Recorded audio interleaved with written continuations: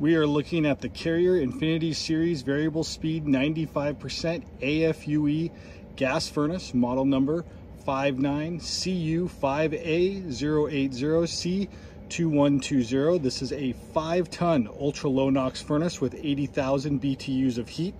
It has a 95% AFUE gas efficiency rating. The dimensions on this is 17 and a half inch wide, 29 inch depth, and 34 inch high. And this is uh, in the horizontal position, but it is multi-directional, can go upflow or downflow. Has a constant airflow ECM blower motor with a sound rating of 54 decibels.